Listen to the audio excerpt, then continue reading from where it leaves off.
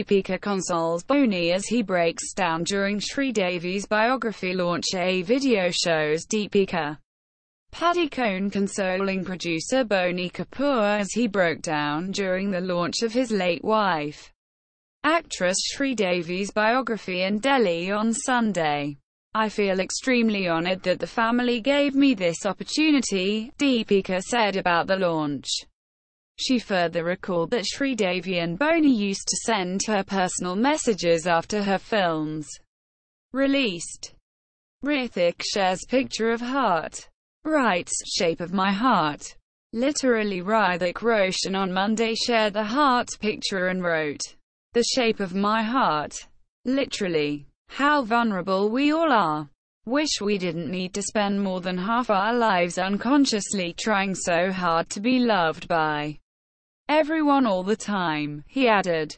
So easily we forget that we're all the same, made of love, Hrithik further wrote.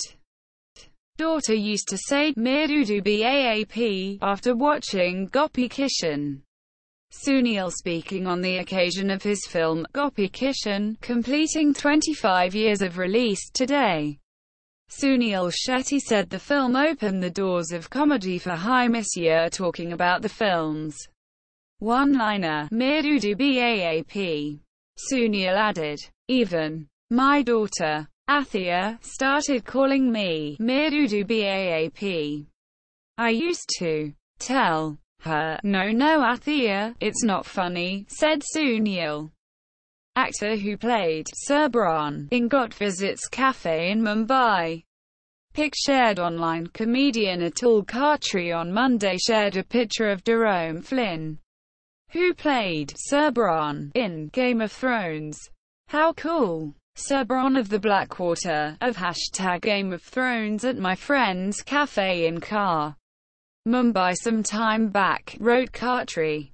A user commented, he got castle in India then, while referring to Jerome's character's quest for a castle on the show. Was offered sex comedies after scene where I am forced to strip.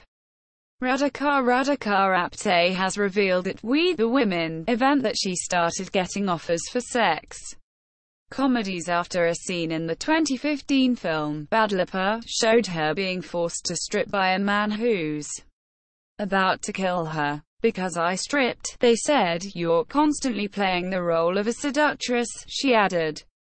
Radhika further said she rejected those offers.